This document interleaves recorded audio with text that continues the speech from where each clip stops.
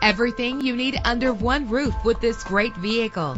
With a powerful eight-cylinder engine connected to a smooth shifting automatic transmission, premium wheels give a more luxurious look. Our website offers more information on all of our vehicles. Call us today to start test driving.